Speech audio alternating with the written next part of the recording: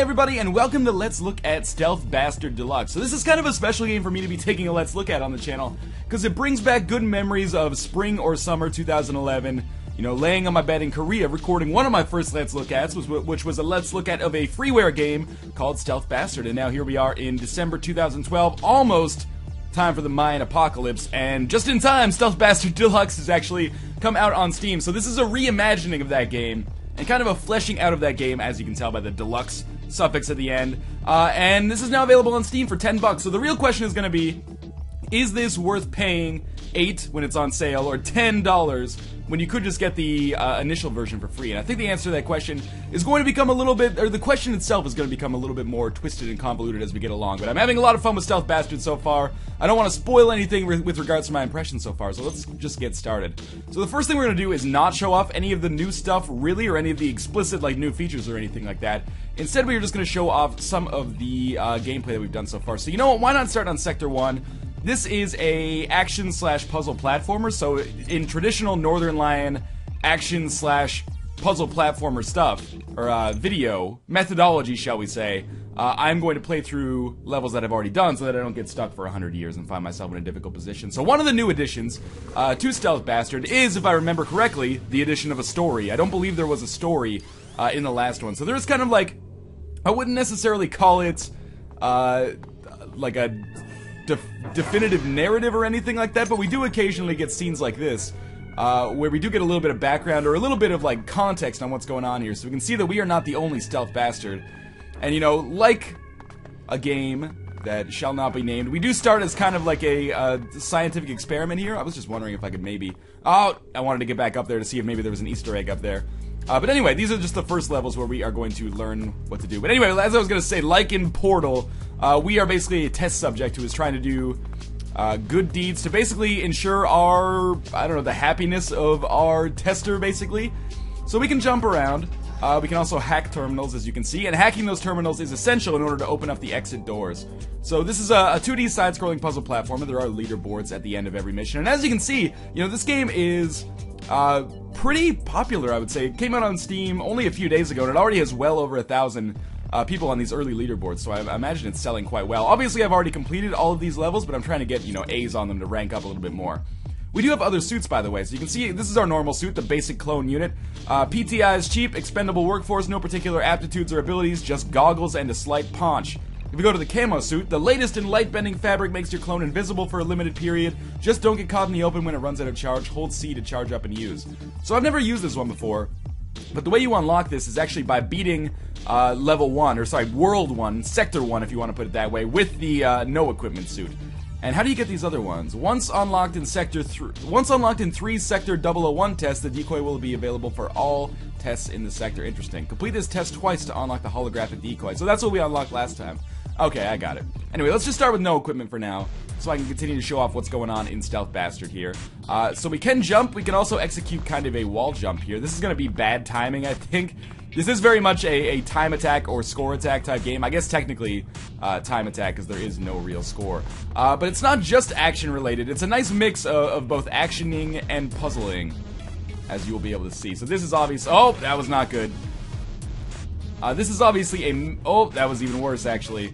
Uh, a mix of both uh, actioning and puzzling, but this one is primarily timing based. So we're just gonna fall through here. That was absolutely awful. We're still not done with this level yet. Now, this is a good time for me to point out that, you know, the name of the game is Stealth Bastard. Uh, there is a heavy stealth element in the game, so if you take a look at my goggles, hopefully you can see those clearly. Uh, when those are green Sam Fisher style, it represents uh, us being not visible to cameras or to enemies that we might come across at that specific time as well. When they're yellow, we are visible, uh, partially, and when they're red, we're fully visible. But that doesn't necessarily mean we've been caught like Mark of the Ninja style. All it means is that uh, we could be caught if someone was to look in our general direction. And there are security systems that will come across later uh, that will help us out in determining how we are doing on a level. Anyway, that was awful. We got a B. I could restart that, but but why bother? Let's just instead move on to the next level. Uh, let's move a little bit further along in the game. Let's go to Laser Burns. And why don't we try out the camo suit? I've never actually used this one before. These are new additions to the game, I believe. Or at the very least, I played so poorly at the other one uh, that I was incapable of actually unlocking those. So I just used the camo very quickly there. As you can see, we charge it up, then we can turn invisible for a brief period. Uh, but what I'm going to do is come up here, and this level, I believe, is a little bit more puzzly. Here's what's, what happens here. If we just try to, like, run across this camera, as you can see, we get flayed by those lasers. Usually cameras either have a laser attached to them, or uh, they kind of feed into security systems that will uh, trigger and kill us. So instead, what we're going to do is come through here, and we should be able to hit this switch, which will give us... Oh, let's try that again. Which will give us this crate here. There's a lot of crate pushing in this game. And what we will do is put the crate all the way back over here. Uh, I think this is what I want to do anyway. Some, this game is surprisingly difficult. It might just be difficult for me, but uh, I remember when I did the Let's Look at, you know, oh man, last year, I suffered from similar problems. By the way, you might be seeing some weird little, uh, like, screen flicker issues. Oh, I killed myself with the crate. That was incredibly stupid. I don't know what's up with that, but uh, that's been an issue that I've been suffering with since day one here. I know a lot of people have had really tough times recording this game with Fraps, so I'm actually using Camtasia Studio, which oftentimes results in a picture quality that is a little bit fuzzy, or audio quality that's a little bit fuzzy, but uh, by and large, it's, it's still acceptable, I think. So what we're going to do is just try to do this without hitting that. There we go. Uh, what I was trying to basically get at when I said that was um, this game probably looks and sounds better than it does right now. I'm just trying to remember, do I really want to hack this again? Yes, I do. Okay, so this opens up the final, or the next section, I should say, which will allow me to get out and over this switch, hopefully. Alright, so we're just to book it through here. Watch out for the camera. But yes, this game is, is fairly difficult. I've only beaten the first two sectors. Oh, that was almost rough there. I've only beaten the first two sectors. That represents like an hour of play, but keep in mind, uh, that I've played through this game before as well, at least a lot of it. That being said, it was a long time ago. I think I played it, it was like May 2011. You can go back in like the first Let's Look At playlist and, and see uh, what what up with that. But I remember that video was one of the first ones where like I really got frustrated with the YouTube community because I fucked up this puzzle like 10 times in a row and people were like, "Oh my god, Northernlion, you must be an idiot when it comes to puzzles." And I guess that's how that trope started to exist. So I'm just trying to think about how I want to do this. I guess like that is going to be good enough. You can see other stealth bastards there in the background trying and hopefully failing in their attempts to do the tests here. Again, a little bit of a weird screen flicker, but this will mark the end of this level. So as you can see, uh, these early levels, I actually did not use the camo suit like at all there. Uh, but these early levels are not all that difficult, but again, whoa. Uh, oh, that's just for this equipment. I was gonna say, I don't think I deserve to be ranked uh, 43rd in the world, but that's only because I'm using the camo suit here. So there are separate leaderboards, that's cool. Uh, let's try this level, and we'll try the decoy suit. So equip your clone with a holographic decoy projector to trick robots or cameras. Press X to pick up or drop the projector, hold X to throw it. Okay. So this game does not use WASD. It actually uses the arrow keys as well as Z to jump. Oh, I don't know if I want my guy to be in this position. I guess we can do a little wall jumping up here and then we'll try to do this. We'll show off, uh, I think a boss level would be a good thing to show off. I really should have taken my decoy with me. Uh, but yeah, we'll show off a boss level, and in addition to that, um, we will show off uh, some harder levels as we get going here. So what I'm going to do here is just hit the switch with perfect timing, uh, which should allow me... I mean, I need to get through here. Is this the way we do it, though? I can't remember. I thought maybe I just jumped like that to start with. Oh, yeah, watch out for the camera mistakes do indeed happen. Uh, so we're just going to take the long way here. Then when the shadows come, we can run across. So there's definitely, that's probably the main mechanic that you're going to exercise in this game, is using uh, shadows consistently to uh, help you basically get through cameras undetected. So we're going to hit this switch here when the shadows were in the right place. And then we're going to push this downwards, which should allow us to hit this switch down here. There's a lot of like hit a switch to get a crate, use that crate to get other switches uh, involved in the game. And most puzzles or most levels are, are multi-stage puzzles. Uh, oh, that was not good. Let's try this again. We gotta time it so that the crate is actually pushed onto the switch when that hacking terminal is not illuminated. So when the shadow covers it up. Like so. That's gonna be perfect. Okay. Let's come down here and hack this. Oh, yeah. Levels are usually multi-stage puzzles which means that it's good because you can kind of solve them piecemeal, but also levels tend to be fairly long. Like your first time through, it might take you anywhere from, you know, 45 seconds to 5 minutes to beat a level. But on your second time through, you can kind of time attack it a little bit, make things easier on yourself. So that time we just kind of snuck around there, hack the terminal, and then we will sneak in. It does seem that there's kind of like a secret that opened up in the bottom right there, but I don't really understand how to get it, so never mind that for now. Anyway, there you go. We are 36th in the world, even though I didn't use the target at all, or use the special ingredient at all. Special ingredient? Special suit at all. Anyway, uh, having completed that level, you can see there's a number of different kinds of suits here that I haven't really done a great job of showing off so far, but let's just take a look at the other ones. Uh, once unlocked in 3 Sector 001 test, the teleporters will be available for all tests in this sector. I'm gonna guess that that is like a suit that you can throw and then teleport to that suit. And the anti-light, I have no idea what that means. It probably uh, deflects light, is my guess. Create an audible distraction by pressing C, press X to pick up or drop the device. Anyway, we've used this so far. Uh, let's exit out here, and we'll go to our final level, Meet the Boss. So this is a new addition as well. As far as I remember, I'm going to go with the decoy here because I didn't really get a chance to use it last time. Uh, as far as I remember, these creatures did not exist in the first Stealth Bastard. How do I throw it is the real question. I mean, I can easily place it. I'm to get shot here, potentially. Oh no, he's shooting at the wrong one. This is a terrible idea!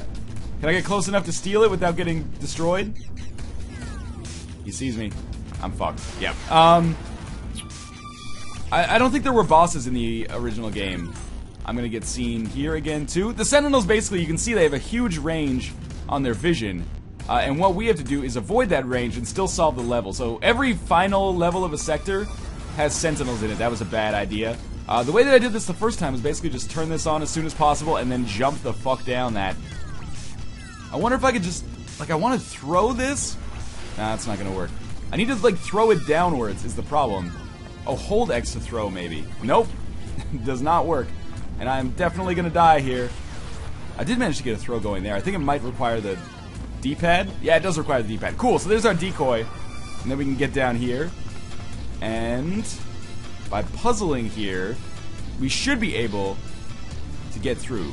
So overall, here's the, the interesting thing about Stealth Bastard. My overall impressions of the game are very positive, as they were over a year ago when I took a look at it for the first time. I think this is a great mix of kind of like cerebral puzzling. Not that the puzzles are that you know mentally difficult most of the time, uh, but they do require some strategy and you know you know proper thinking basically within the rules of the game to figure out. Uh, and also a nice mix of like action platforming as well. Like, there's some fairly difficult stuff uh, that you have to do from not just a conception or you know coming up with the idea of how you solve it in this game, uh, but also just executing it can be difficult as well, which is, is something that I, I enjoy in a game like this.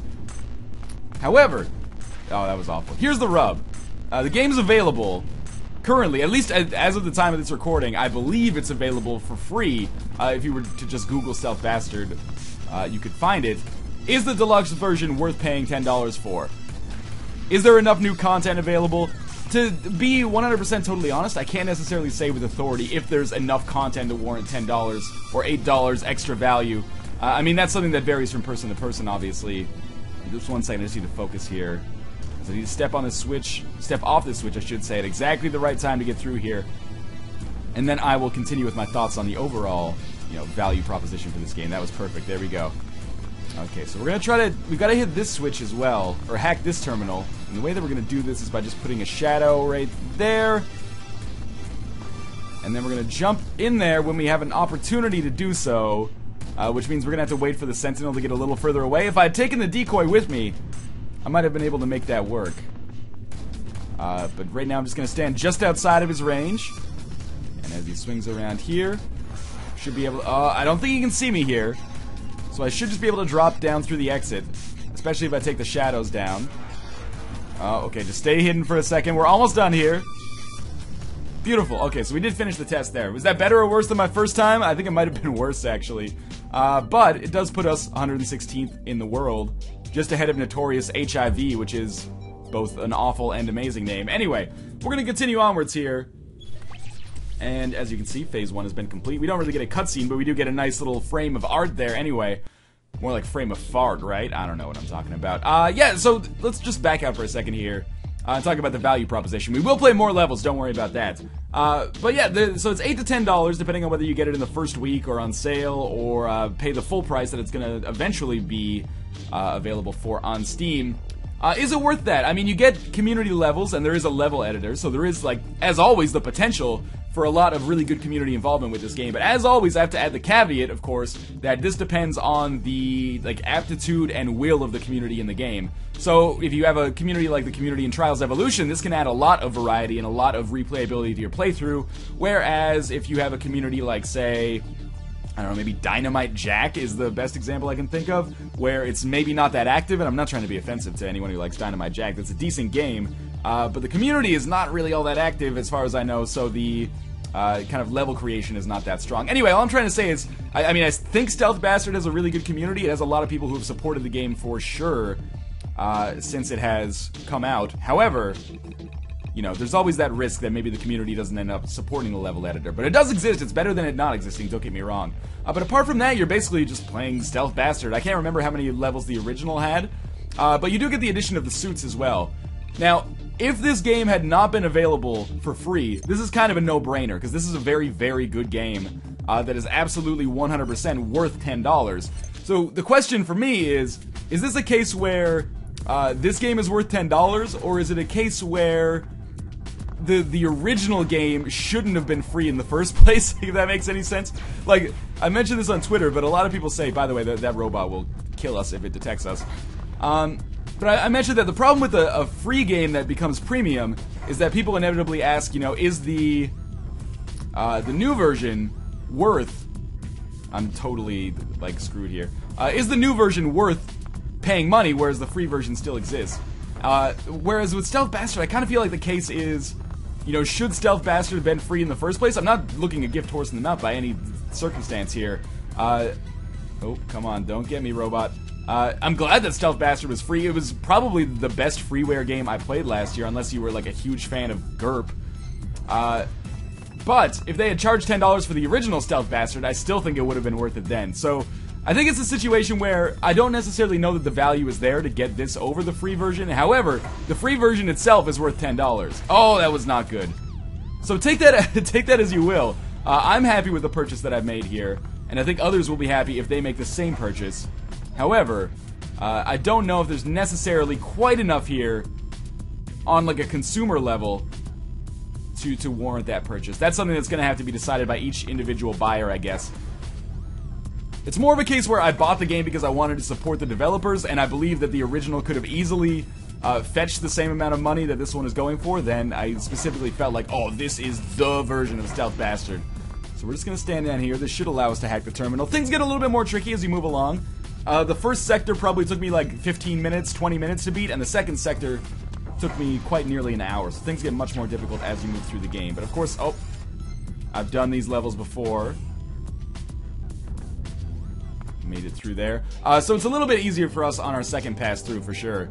The reason I don't want to open up the uh, community levels is because I worry that it might actually uh, put me into the Steam browser, which oftentimes causes weird errors with recording. But anyway, uh, let's do one more level here, maybe in Sector 2, and then maybe we'll check out some Sector 3 levels that I haven't touched, despite the fact that I feel like it's going to be a terrible decision because I always fuck up in puzzle platformers. So I am using the camo test, or sorry, the camo uh, mission, or suit this time. Why do I struggle figuring out how to say suit? Uh, and this is one of the more difficult missions that I've done. I just completed this one recently before we started recording, so I'm going to see if I remember it here.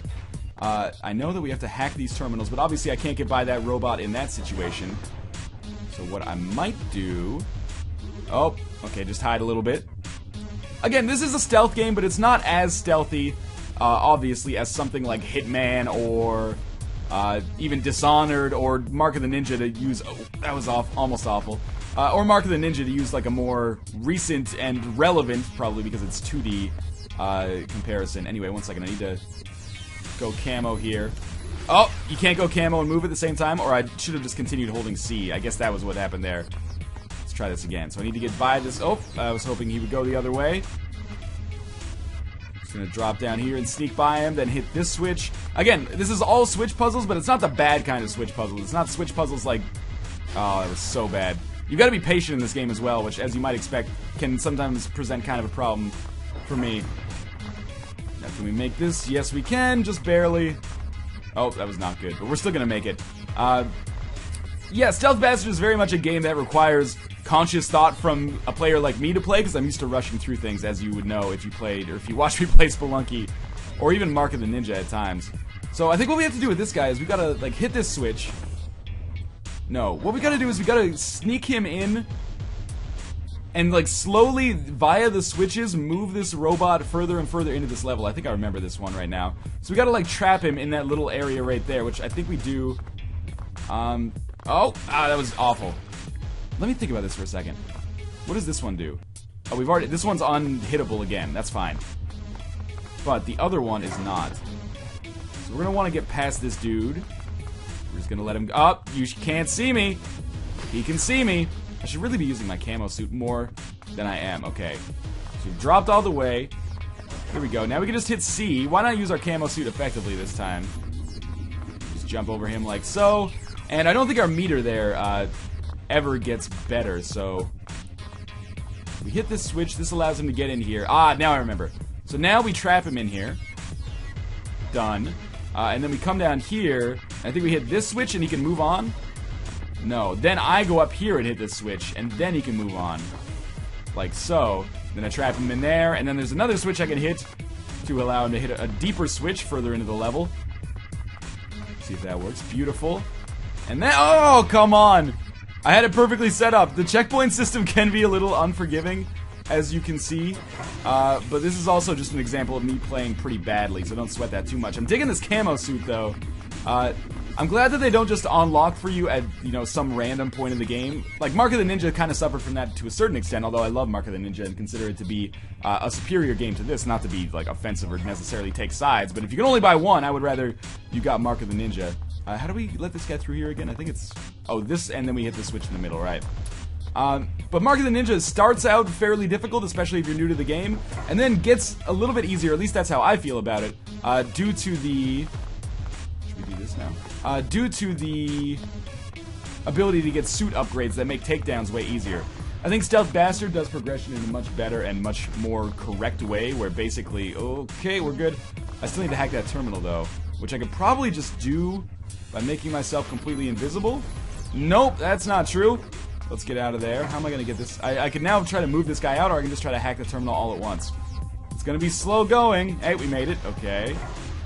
So let's get out. Uh, yeah, progression in this is better because you actually have to beat the levels with like the pure form of your suit, which is with no extra abilities. Only three people in the world have done that. That's crazy. And I am by far the worst. Anyway. Uh, yeah, so you have to beat the levels in the pure way before you get to try it in different ways, which I think is a better way to do it. Anyway, we're gonna check out security clear, security crackdown here. We're gonna do at least one level uh, of each one, or of this world right here. Apparently, only one person has done this. Oh, that's based on equipment. Okay. Uh, so we're gonna go with the, the normal suit here. And I don't know, this could take me two minutes to figure out, it could take me five minutes, anything could happen. So sensors respond to touch. Is this a sensor? This is a sensor right here. Okay, I understand now. So obviously, we're gonna wanna get up here, hit this sensor, robot's gonna come for us. Then can I make him fall down? That's what I wanna do. Yeah, that worked. Oh, but then he hit us with his laser. So we're gonna use this robot basically as our own personal fuck toy uh, to hit all of these switches or all these sensors for us. So he's going to turn around here, and then we're going to let him drop down. He's going to hit that sensor for us, which is going to allow us to get in here, I think. This is an interesting predicament that we've got in our hands here. Because how am I going to get through there? This part is easy enough, and I can easily fall down.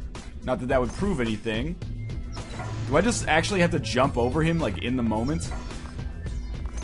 Yes, I do, and I made it through. Okay, that was more difficult than I expected. Uh, but let's continue moving onwards here. Again, keep in mind, there is a good mix of... Oh. There is a good mix of, uh, like, brain-type puzzles and a good mix of hand-type puzzles, where you have to be a little bit more... Ooh, that's not good. Uh, where you have to be a little bit more, uh, you know, quick-witted, versus proper properly planning. Okay, so we're gonna hack this terminal. Now here's the thing. What's my issue here? I... Come on! Yes! Okay. Oh, I can't quite make it! Alright, well, we might as well die then. Alright, so it's gonna push us into that little gap. Here we go, let's try again. I don't know, I don't understand the think ahead part. I think that means I basically should just not touch the that first option until I absolutely have to. Does that work? Oh, we're so close. Okay, we might as well kill ourselves here. So I think all I've got to do is make sure that I do not touch that first one for any longer than is necessary. So that was pretty good. I think we might be able to make it on this one. Let's try that. So just do it like so, and we should be able to get through there easily. How about this? Oh! Okay. Um, managed to survive that somehow and get through. Okay, obviously our performance is graded. I think we're okay if we just drop into the sensor. Yeah, that'll turn off the laser.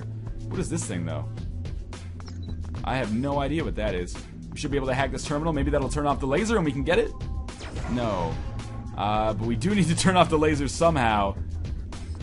We, oh, you can't just crouch. If you crouch, the laser will shoot you. Okay, I didn't get that until the last second there.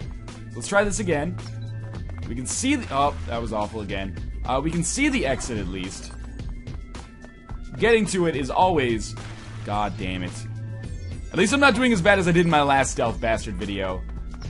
Mind you, that would be borderline impossible to do worse, but you can check that out if you want to know what I'm talking about. So we're gonna, this sensor is gonna turn on the laser though, isn't it? That worries me a little bit. What, what, what does that sensor do? It just opens that door. Okay, that's fine. So we could trap that robot down here.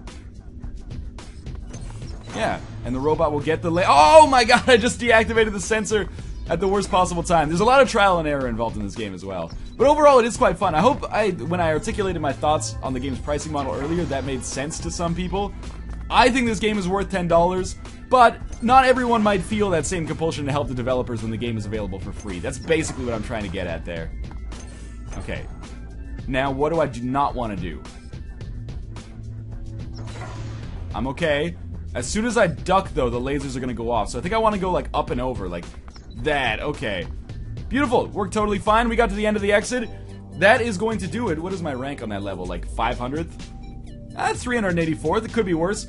As always, thank you guys for watching. This has been Stealth Bastard Deluxe, now available on Steam for 8 to $10. I'm not, don't quote me on whether or not the freeware version is still available, but uh, my guess is that it still is. So feel free, if there's no demo for the game, to go check that out instead. Uh, and maybe you will find that it is not worth eight to ten dollars to you. But for me, uh, this is definitely a, a, very good, very solid indie game that warrants ten dollars. And the fact that they released it for free earlier only makes me want to support them more. If that makes any sense, it's a very unusual way for me to be speaking of things because you know it's not often we run across a situation like this. But th- I hope I summarized my feelings on it uh, succinctly, and you guys understand what I'm talking about. But in any case, thank you guys for watching, and I will see you next time.